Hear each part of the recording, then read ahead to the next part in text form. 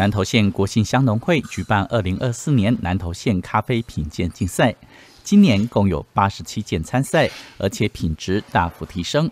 评审过程以 SCA 杯测模式进行，采用分数集聚评比，并由六位其他县市的业者评比。其中更特别的是邀请日本籍的评审，每一位国信乡的咖啡农表现都令评审惊艳。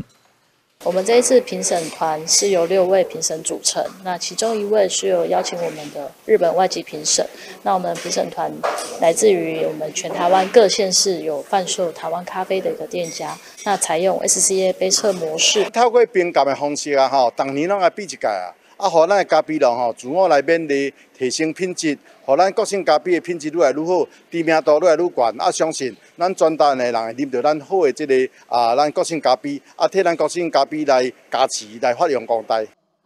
国信乡农会总干事叶荣新表示，每年办理的咖啡品鉴竞赛，就是为了提升农友栽种、烘焙技术，相互观摩、学习成长。而主审陈婉珍也认为，借由竞赛也可以发现国信香的咖啡越来越好，品鉴咖啡的花香浓郁，口感也都很柔顺，整体的品质都更胜以往。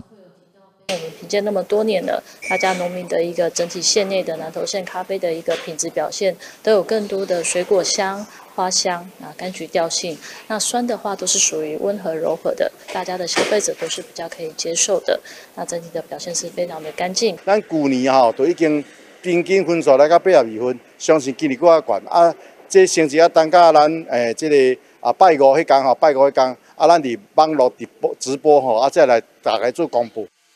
咖啡已成为南投县的重要经济作物之一，许多乡镇农友投入咖啡生产，又以国信乡面积产量居全县第一。而今年咖啡评鉴竞赛分为水洗组以及其他处理组，成绩也将在六月七号线上直播同步公告。